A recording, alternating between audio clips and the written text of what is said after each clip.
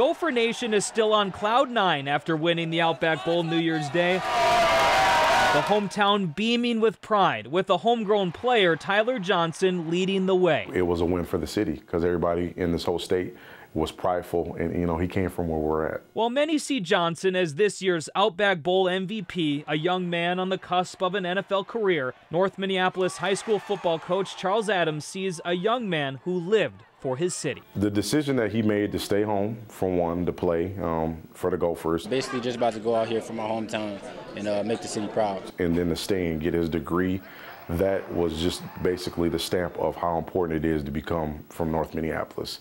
And that's kind of the culture that I, I, I, wanted to create for these kids. Tyler Johnson, North High School quarterback. On the field, Johnson led North High to the state championship in 2015. But behind the scenes, there were talks for years about closing the school down. He, he was a major part of rebuilding and rejuvenating what, what's going on in North Minneapolis. And now a player from North Minneapolis is catching the nation's eye with a one handed catch that had SportsCenter saying, Are you kidding me? A former Viking calling him King of the North, and the state's Attorney General saying it's proof that awesome things can happen on the city's north side. Those that know him say Johnson's star will only continue to rise in the world of football, where he is eligible for the NFL draft. So it's very possible that we'll continue to hear his name in the world of football for many years to come.